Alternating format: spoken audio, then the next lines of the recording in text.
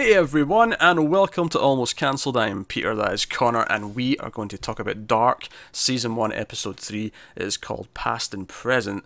Full spoilers for the episode, as always.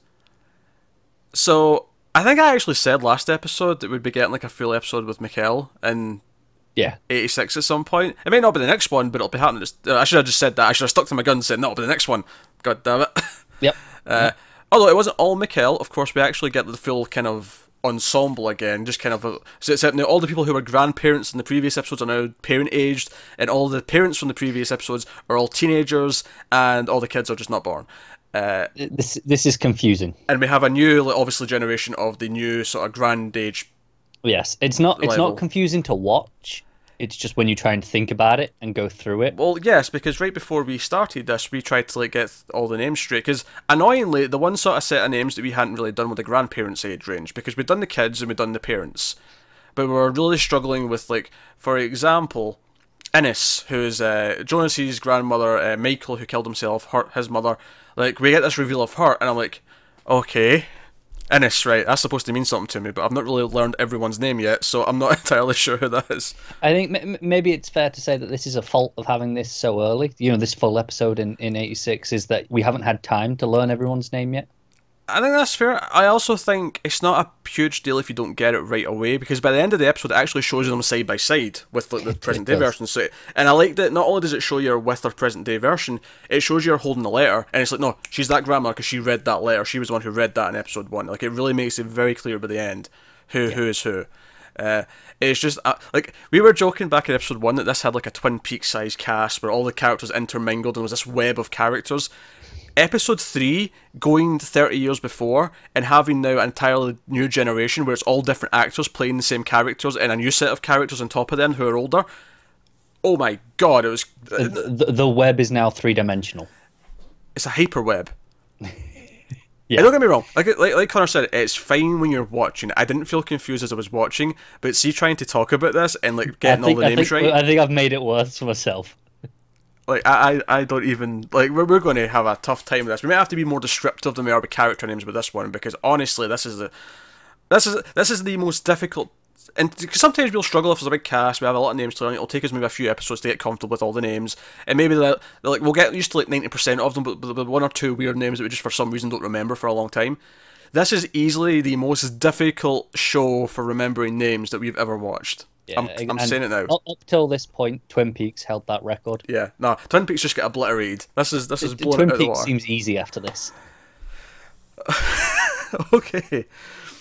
Okay, so Should we talk about the actual episode? yeah, let's talk about the episode. Let's talk about let's talk about Mikkel's first because we sort of go with him there. Yeah, he's the introduction to the episode. Uh, and we start where we left off with him, where he's outside his his, his house from you know he's he's soon to be house, but he's not born yet. Uh, and obviously he's seen the newspaper, but he's still not necessarily ready to believe that he's actually travelled in time. Like he's kind of like doubting it, and he, he goes in asking where his parents are, and. What I thought was that actually when I realised that the, the, the mother was like still distraught because Mads has just went missing, Ulrich's brother, uh, I thought, oh, maybe she'll think it's him because they'll look, he'll look maybe similar because they're, you know, he's the same family, Yeah. same age, give or take. Uh, but she's just like, oh, who are you? Like, do you know who where Mads is? Do, where's Mads? Is he coming home soon? And she just kind of freaks out. Uh, and then he goes to the school to like see because he, he knows his mom's the, the, the principal, which leads to some humor because the because Charlotte. Listen, I get the right name. Katharina, not Charlotte. Yeah. Charlotte's someone else. Katharina. I told you, I'm already messing up because there's too many names. Now, now you're messing up the easy ones that you had locked down. I'm doubting myself. Yeah, so Katharina though, like she's like you know a, a high school student here, and she's like like your mum's the principal. You mean Mister whatever his name is? I'm not even gonna no, I'm not even trying to remember his name. Uh, he's a throw throwaway line. Uh, but she's like, oh, I think about him, and she, you know, she she she, she makes a, a slur about him. She's like being like a really nasty person. It's completely different. You know, she's a kid versus like, the more mature adult that she is in present day. Uh, and my camera's not focusing, and it will pop into focus at any point. Yeah. Okay. There we go. Good.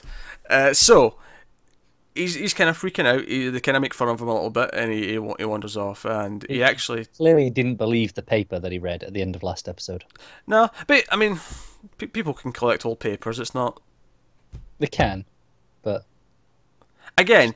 How easy do you think it would be to believe you actually time travelled? No, no, it wouldn't. But I'd be questioning something's going on if if I'm going, hey, you're saying you're Ulrich, and then that's supposed to be my dad, and then you know this isn't my house clearly because my key's not working and and my family's not here as well as far as he knows, and this paper says the wrong date. There's there's enough things there that be going, this is wrong. Oh, I think he knows it's wrong, but I think he's too confused. To, that's why he, he tries every avenue. Okay, house isn't working. I'll try. I'll try uh, where my mother works. That doesn't work. I'll try where my father works. He goes to the police station, and even if his father's not there, the police station's probably the next place he'd want to go anyway. like That that is true. I need help. true. I need help. So he, he goes to he goes to the police station. and we meet we meet the the father uh, of of uh, Regina Regina. from present day. Regina, of course, the one who owns the hotel. Uh, and I, I think we'll start using the family names to sort of like just put them into sections because it just makes it easier. So he's from the the Tiedemann family, right? That's the family that Regina's in, and he's the her father. Uh, and we find out obviously in the same episode that his wife, listen, I'm assuming it's his wife. uh, Uh, I, I have no Yeah. reason to assume otherwise. she is actually going to work at the nuclear power plant. Uh, in fact, arguably she's already working there. She's just getting a promotion. But Yeah, first uh, day in the new position though, yeah. by the look of it. Yeah, yeah, yeah. She's all she's all kind of nervous. She's she's angry at Regina, who's a teenager, and obviously here and like, "Oh yeah, you're, you're a mess. You're like a, a wet rag. You're a disgrace to the family." So Pretty yeah, much, it's it's like comb your hair. so so Mikkel's at the police station, and he, he's with him, uh, whose name just keep me Egon. That was a good name. I like it That's a good name. uh, Egon Tiedemann. He so he he tries to and he's like and he's like, oh, I'm looking for my father. I'm looking for Ulrich Ulrich Nielsen Nielsen family, and he uh he's like, wait, the Ulrich Nielsen. Did he do this too? Because he's got, he's got some cuts and scrapes from his his, his I've journey. sorry, I, I've just read the wiki page. He's actually Regina's grandfather. Okay, so that that's uh, it's not it's not husband wife. It's dad and daughter. Okay, Yeah. right. Do you see why this is confusing people? Because it's not even like So many connections. This is the thing, like we never actually see them interact with each other, which is I think that would have made it clear had we seen Yeah. Egon and uh, Regina's mother interact, we'd have got immediately okay, fine, like they're they're father daughter, but we didn't. so Yes. a lot of lot of connecting, uh, which again it's fine in the show. It's just when you actually try to talk about it, there's just so many. It, yeah, it wasn't a problem when I was watching. It was really going in easily. I, Yeah. I, I enjoyed this episode. I think I should put this out here now before we. oh, I liked it as well. Yeah, because we're obviously saying this a lot that we're struggling now. While I was watching, no problem. Really good episode. Hmm. Just just a bitch trying to talk about it with all these names. Yeah. So, so he tries to. He goes back to see Ulrich, and he has a bit of a confrontation with him. Ulrich being a bit of a, a layabout, who's got his music on loud. He's playing video games. Of course, it's 1986, so he's playing like a really crappy old, old computer game. yeah, music's good though. Yeah. I was expecting a, a an early Nintendo game or maybe an Atari, but he was actually playing something on the uh, on the computer he had. So I'm not, I'm not really sure what format Yeah. it was in. Uh, I'm sorry, I'm not that old. I don't, I don't know. Slight, slightly beyond us. Yeah. Uh, and for anyone who watched this and did uh, get what that game was, I'm sorry I just made you feel old, but you know, But go ahead and tell us what it was. yeah. And I'm nearly 30, so just let it sink in how old you are if you got that. um, which actually reminds me, talking about things from the past, uh, there was an advert on TV, and we saw one of these actually in the first episode, but I think it's the German version of a Twix, because it was the same sort of colours and the wrapper was like similar. Yeah. And they look like Twixies, but it just it was called something different. I can't even remember what the name was. No, but I haven't had a Twix in years, and they're amazing. They're okay. Bit bit boring. I, th- I think they're, they're, they're, they're, they're classics. They're just dependable. Do you know, I got really disappointed once because I found out that the peanut butter Twix existed and I was really excited. But then I found out it didn't replace the biscuit with peanut butter, so it was biscuit, it was caramel and peanut butter. It was just the biscuit and peanut butter, and it was really boring. And I was like, "This is." Uh... Why would you want to replace the biscuit with peanut butter? The biscuit's the best part. Oh, no, it's not. You need the biscuit to crunch. To you, you want to replace the caramel with the peanut butter. Oh, ideally, you want the you want peanut butter and caramel. You Yeah, that's what I wanted. I wanted peanut Well, butter caramel. But I don't mind. repl- if, if you got to replace something, you replace the caramel, not the biscuit. I don't mind the biscuit being there, but I wanted peanut butter and caramel. That was the appeal. And then it was just really boring and didn't have the same thing for it. It was weird. Anyway, so so it's 1986. I think I like how they actually tackle the time period. I like that it obviously you've got eighties clothes and cars and stuff, but it doesn't feel like they're going super like They're not doing anything outlandish with it. You have Yeah. like maybe once, you know, when, when he first arrives at the school and you see like the bikes and the shoes. And It's like, yeah, Yeah. okay, it's the 80s. But when it was just like the you know when it, when it was Egon driving around doing police work and stuff, he's got the older car, but it didn't really feel like there, was anything different about it. Uh, but it was obviously little things that they didn't do that maybe told you more. Like at no point does anyone pull out a phone, for example, when they're outside. Things like that, just simple little things where it just it's part of the time period and it, it, it works. So I, I really like that. I liked how it felt like the same town still. Yeah. Lucky Lucky Mikkel doesn't have a phone, right? If he pulls that out, it's going to be weird. I mean, I say Yeah. that. I'm assuming he doesn't have a phone because he's, you know, younger and, you know, he Yeah, he's- not he's- have one yet. I think he's young enough that he wouldn't have one. Just about. Yeah. Just about in that plausible obviously- realm. I mean, it, I mean, it varies from parent to parent. We know what age kids get phones now. I mean, I, I never had a phone when I was a kid because I didn't really care. I didn't want one. But that, I, that was at a time when mobile phones were just becoming like a big thing that everyone had. Whereas Yeah, now it's I- like, Yeah, I, I don't think I got one till I was off to when you know when you when you start making your own way to school. Yeah, like right here, have a phone so in case you know bu- bus doesn't show up, whatever. yeah, uh, yeah. And I got a car ride in school, so it wasn't really till uh, even later I was kind of like in Yeah. need of that kind of thing. Uh, I mean, I, I got one for when I, by the time I left school, but like I was- again, like some people were obsessed with phones and wanted them at like twelve, whereas I was like, yeah, oh, 17, fine, give me one. So for, for for the use of it, not because I actually cared that I wanted Yeah, a phone. yeah, exactly. You know, But it, it's why we, uh, this is he's got to be about what eleven to thirteen, give or take. I can buy either way if they tell me he had. Yeah, I don't think he's as old as thirteen. He doesn't seem thirteen to me. He seems more like 10, 11. okay, it's, uh, fine. I'm, I'm, I'm, Oh. I'm ballparking. Yeah. but it, it's it's young enough where if they tell me he has a phone, like you know, if if, Yeah. if suddenly he pulls out a phone, I'm gonna be like, all right, sure, he's got a phone. But if not, I'll go, well, yeah, okay, of course he doesn't. Yeah, maybe that. Maybe they'll use, do that. Use that to prove it at some point, because people obviously no one's going to believe him. Yeah, exactly. Because in this episode, he tries to tell Hannah, uh, to you know, to not Hannah, sorry, not Hannah. That's uh, why I was getting confused. Ines, yes, Ines, uh, Jonas's grandfather, uh, Hannah's mother. Oh no, not Hannah's mother. Yeah. Sorry, it's not. It's not. It's the Hannah's husband. It's the, Hannah's mother-in-law. Yes, Hannah's mother-in-law. Thank you. She, he tries to tell her because she's a nurse. He's at the hospital getting his cutscene too, and she doesn't. She sees a little book that's it's a comic book that says like future something on it, and she's just like, oh, being a kid, you know, reading these stories. Uh, but she kind of the interesting thing she said though, uh, when she's introduced, she says she doesn't have a family. Yeah, that is interesting. I, I- I did note that. That was a very interesting little tidbit. Uh, now that could just be a case of when like the Jonas is adopted. Like maybe she met her husband and then they adopted him when he was already Michael. Michael. Oh yeah, right. Yeah, Sorry, sorry. yeah. I'm, I'm forgetting it's a different generation. I'm thinking it's the, the Yeah, parents and not I, the I, I, I know, I know. Oh my god, this is so hard. I apologize, people. This is a shambles. That, that, that, this, this We, is... we are going to do better for next episode. I'm going to I'm going to draw a family tree. I need a tree. That might help you get your, your head around it a bit Yeah, better. I, I need a tree of in front of me that I can look at. There's, there's so many names to, to juggle, but yeah. So she doesn't have uh, a family apparently here, like Yeah. because that's And, why uh, she, she, cause she does a shift because oh I've, my kids need seen to can you do it since you don't have a family? It's like, oh, it's fine, I'll do it. It's fine. I'm like oh that's interesting because because Michael should exist by now. He yeah, should of course, he should be we don't we don't see him at all. There's no reference to him. Well, which you know makes you wonder: is there timey wimey things happening? Has he been erased from the past? Does he just pop in later? Like, Yeah. d- d- does it? I mean, uh, does he pop in from the future? And but she hmm. at this point, let's say she believes the time travel stuff from Mikkel, Yeah. and he comes in at like say he's like 17 when he arrives in this time period, Yeah, is, is and he, he explains it to her, and she's like, "All right, okay, you you're you're part of my family now." is he a kid that was saved from the future? Is he Mikkel? Mikkel, Michael. Ah, ah, that's not bad actually.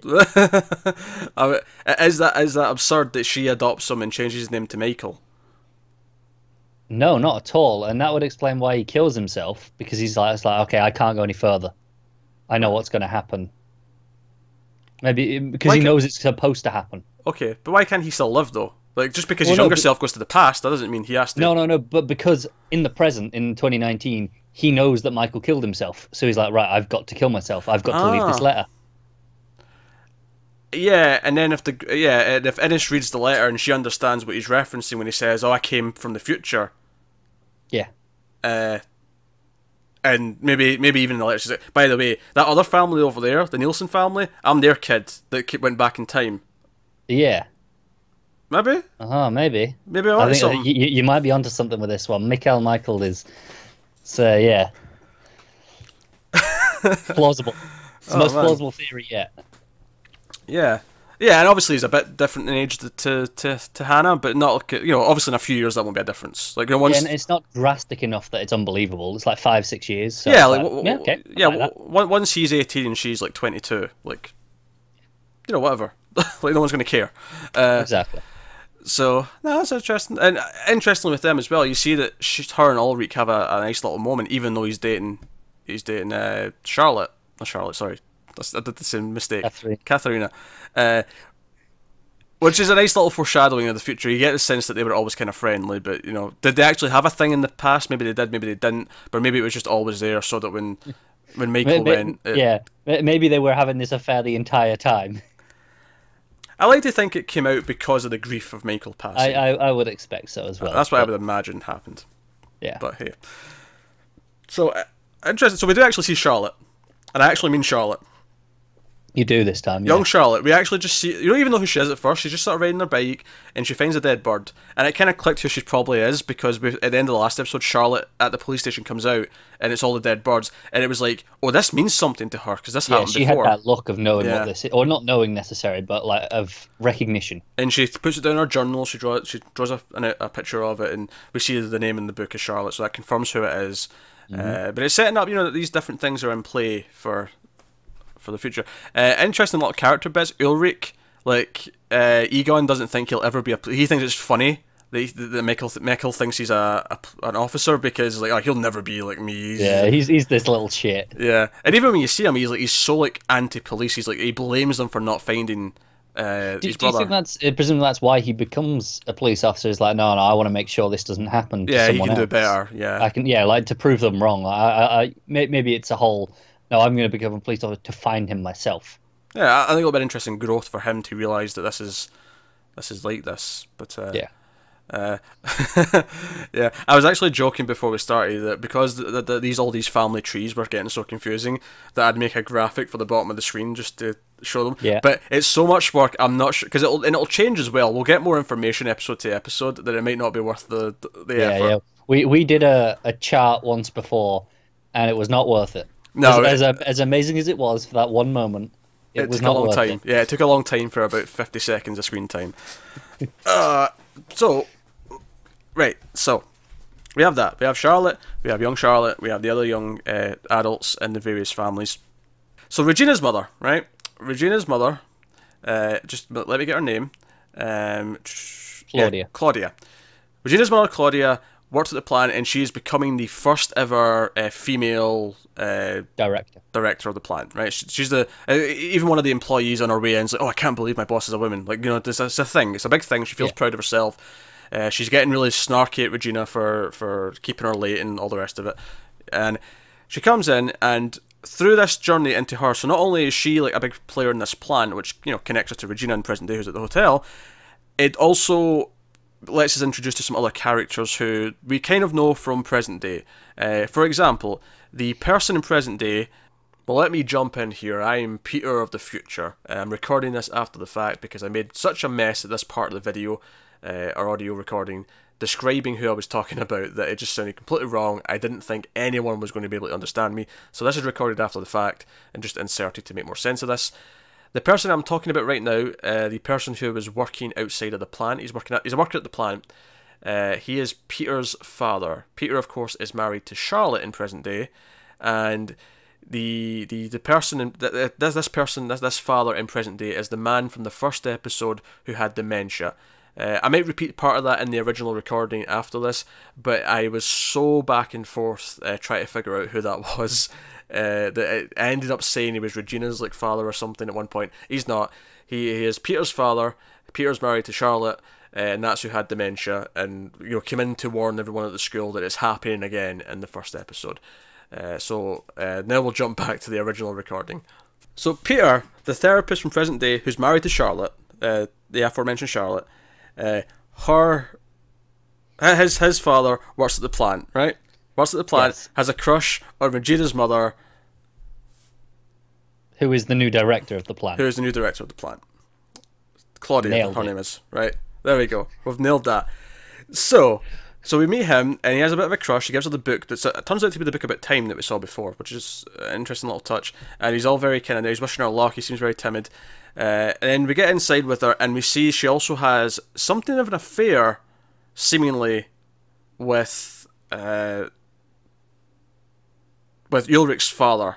So, father like son, you know, because Ulrich's obviously having an affair right now in present day. His father in 1986 seemed to be having an affair with Regina's mother, Claudia. Do you see why this is confusing people? Do you see why I'm having a hard time saying this all out loud? I, I know. I I just try to keep up and said some of this points. It's just oh my god. How I do you know what? I'm looking at this going now and I'm going, how the hell did this make so much? I I, I need to give this episode more credit because I was not confused when I was watching it. This No. this just flowed as an episode, No, it worked. and I thought, oh, it's a good episode. But then now looking at this, I'm going, this did an amazing job of keeping things straight, all things given.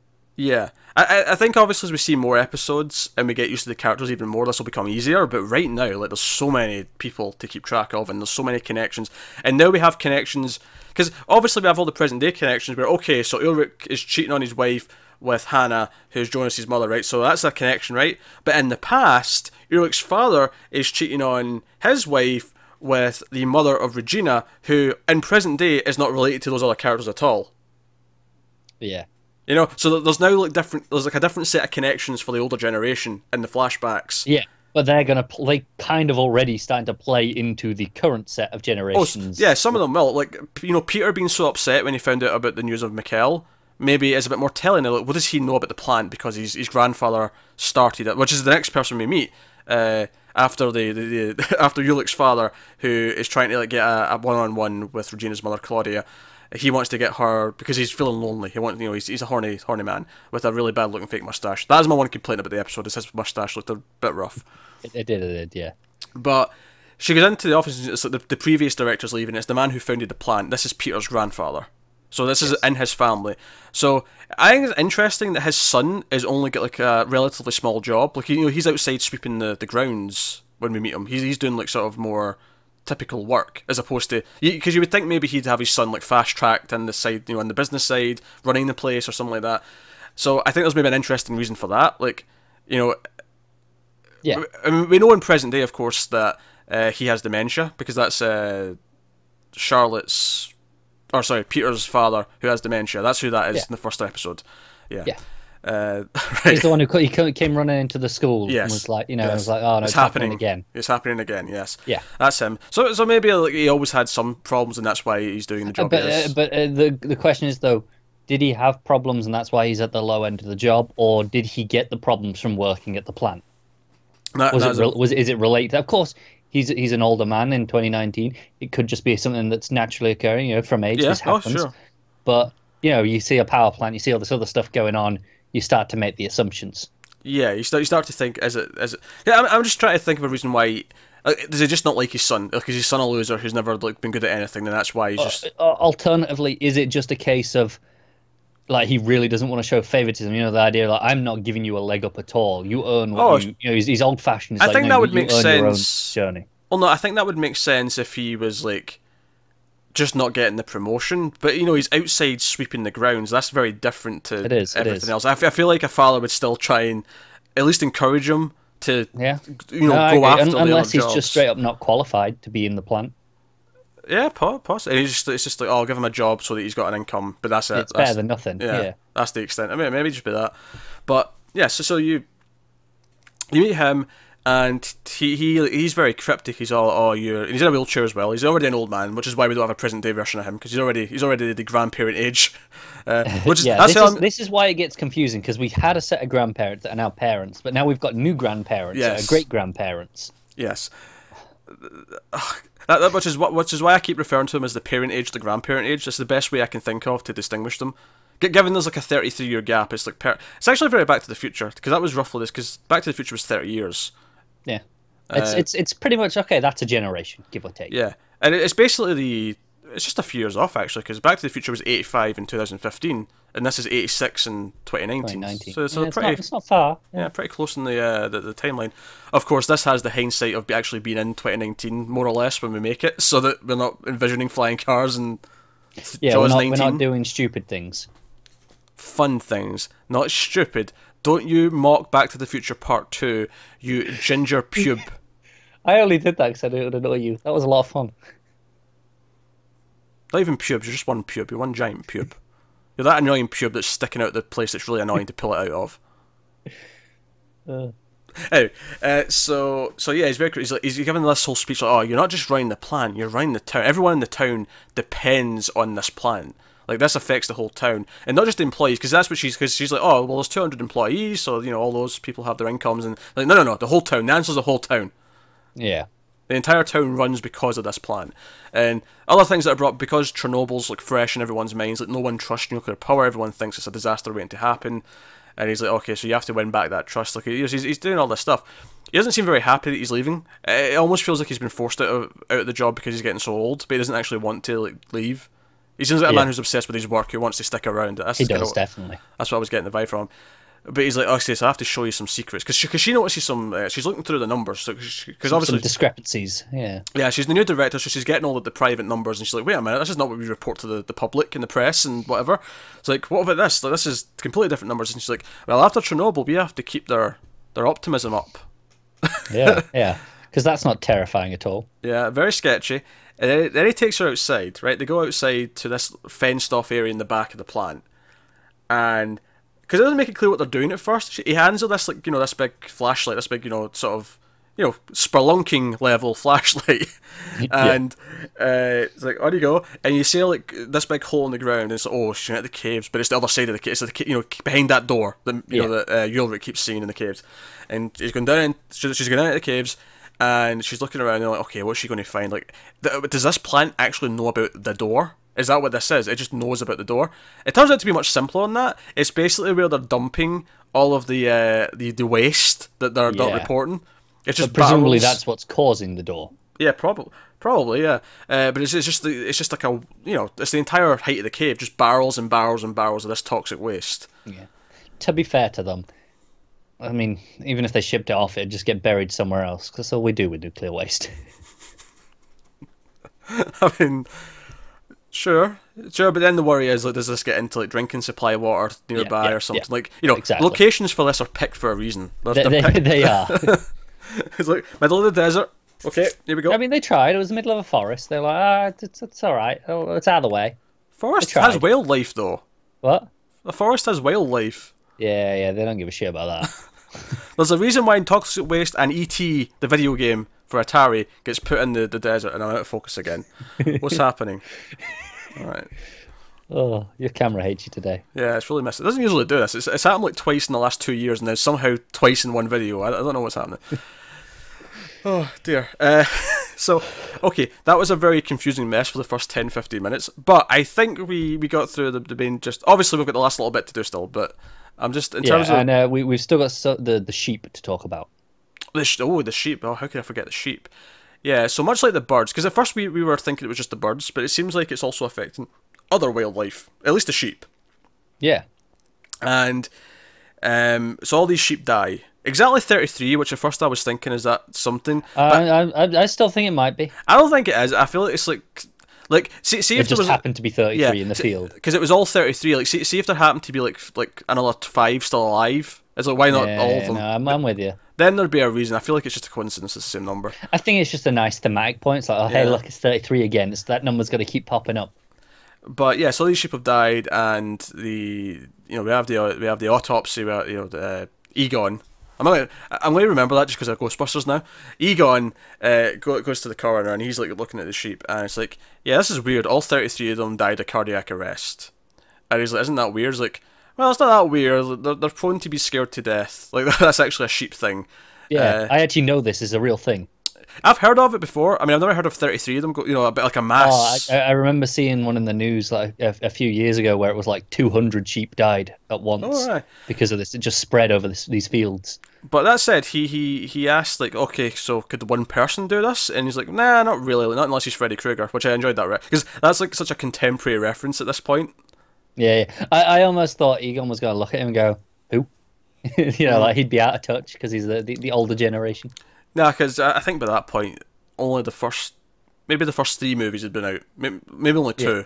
Because one was 84, two was 85. I don't know if three made it in 86. Three might have been 87. It's hard to tell from memory, but.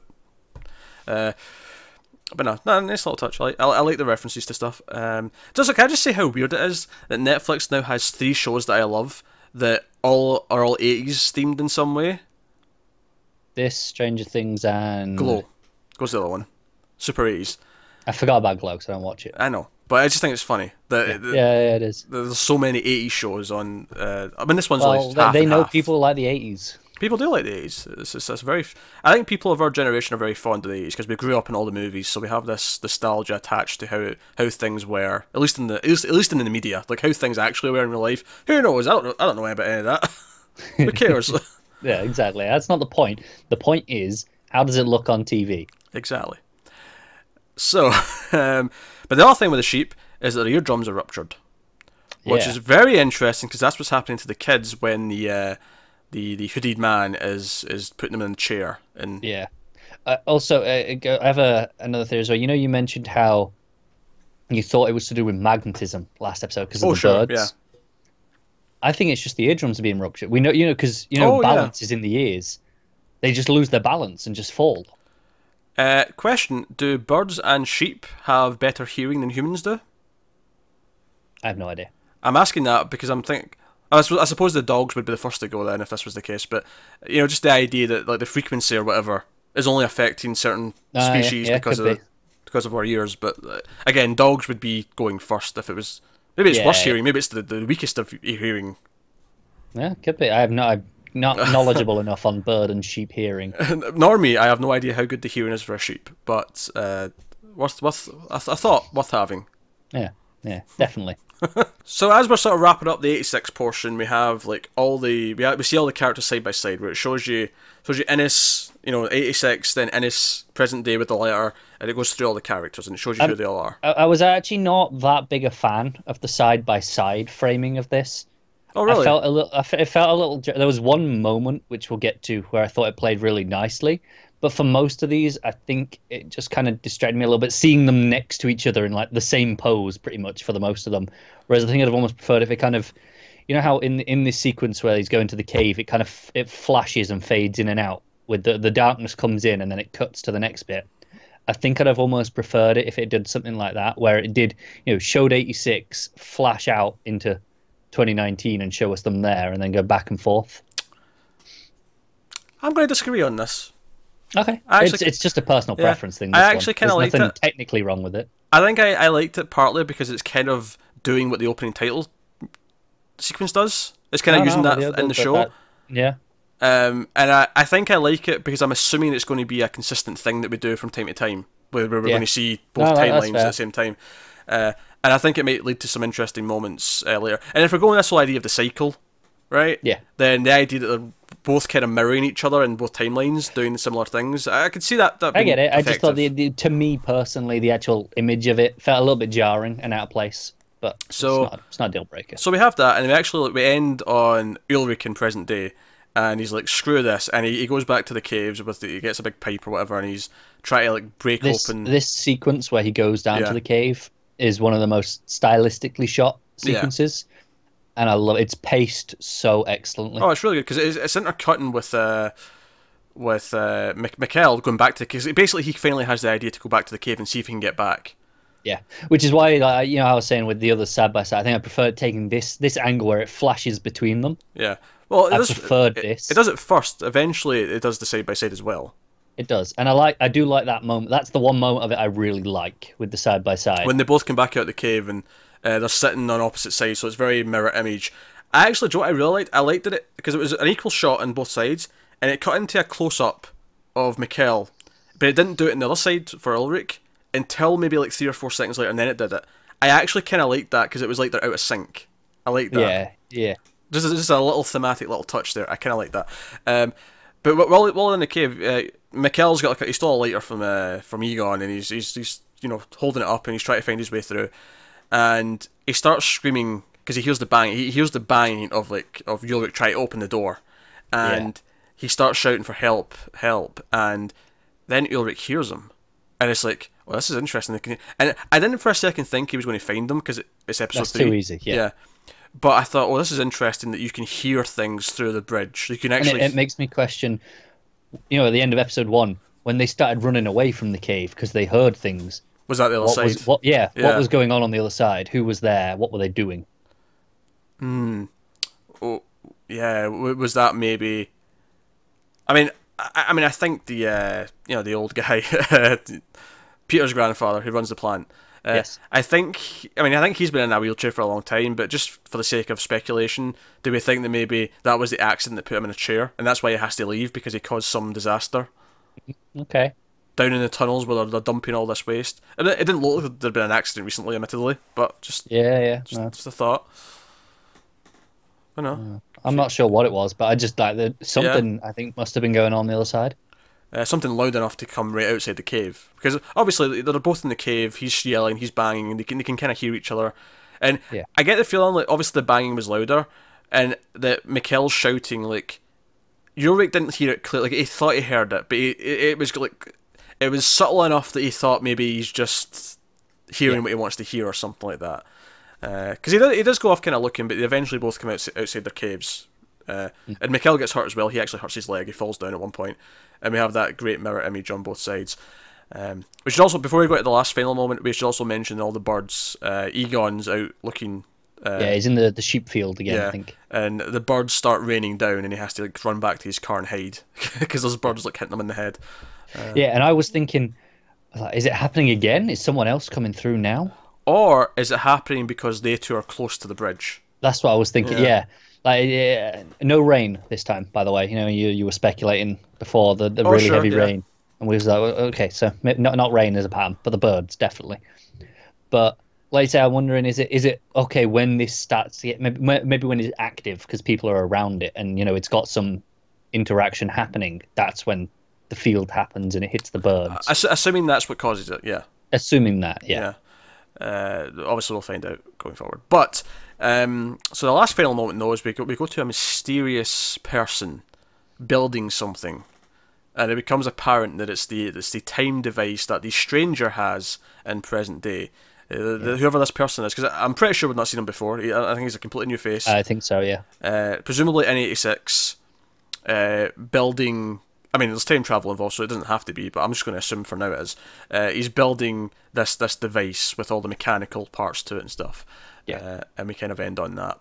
But no, I I I'm enjoying the, the the teasing, and again, as much as it was confusing, trying to piece all these names together and like t- talk through all the connections, it was actually really easy to watch in the episode itself. Yeah, and uh, I can't stress that enough, and it's why it gets more credit than I realized when I was watching it because Yeah. It was good when I was watching it, but when I realized just how much it's juggling, how complicated this actually is, and it it never lets you feel lost. It's that's a, a real credit to it. Yeah. So I'm just just to wrap up before we go. I want to just run down the families again for folks at home. If you're if you're also trying to figure it out. assuming you're watching this as you're watching as well, you might have just binged the whole thing and then you're just watching us do this as as we And then you're laughing because you've got your head around it already. Yeah. So we have four main families. We have the the Kahnwald family, and that is uh, Michael who killed himself, Hannah, his wife, their son Jonas, and then of course Ines, the being the the grandmother of the family. Right. Yes. Simple. We have the Nielsen family, which is Ulrich, police officer, his wife Katharina. I got that right for the first time in the entire video. Uh, who's the the school principal. Yeah. We have the three kids. Uh, we have Magnus, Martha, and Mikkel. Mikkel being the one who's time displaced. Magnus being the older brother. Martha obviously being the sister. Uh, you have uh, you have Tronte Nielsen, who is the the father who who was cheating on Yes, Ulrich's father. Ulrich's father. Yes. Uh, so you know, so we'll call him the grandfather. Yes, grandfather. Uh, who, who's also been the one sneaking out at night when he had the blood on the uh, the sleeve. He's the one who's been sneaking out and uh, on his wife Yes. in present day, uh, who's Jana Nielsen, right? That's the Nielsens. The Doppler family, we have Peter, who's a psychiatrist, his wife Charlotte, who's the police officer. Uh, we have their daughter Franziska, a weird name. Uh, but then, of course, uh, I, I think we've not actually met their, their kids yet because they've got two kids. And I'm, I'm Franziska, I think, is the uh, you know the. I think she might be the the girl that. the Ginge. Yeah. Yeah, I. I- I was trying to find a, an actual character trait rather than just going that. But yeah, yeah, The, the, the, the ginger who seems to be into Magnus, yes. yeah, I think that's her. and she's got a little sister as well, probably. But I don't think we've met her yet.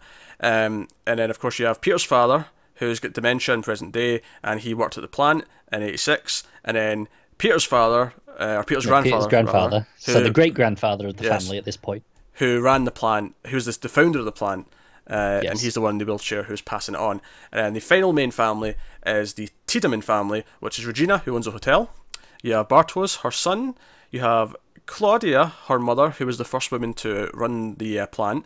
And you have Egon, her grandfather, who's the police officer in uh, 1986. And that's all the main people. Uh, that we'll leave it there. But I think that's a rundown of the entire. I think, we, I think we've got it. Yeah, we, we- we've got this right.